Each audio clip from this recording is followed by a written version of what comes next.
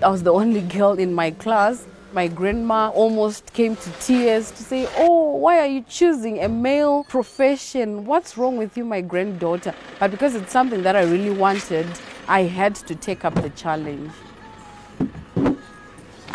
I love water. There are so many things that have to be done. Having to come up with so many interventions so that we can always, at all times, have water that is safe for drinking, that is in good quantities for the population that needs the water.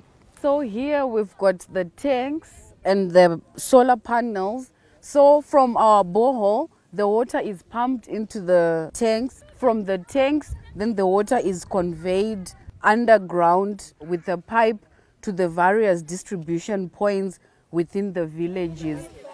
Water is life. When you do something out of love, out of passion, you'll definitely do a good job and achieve results.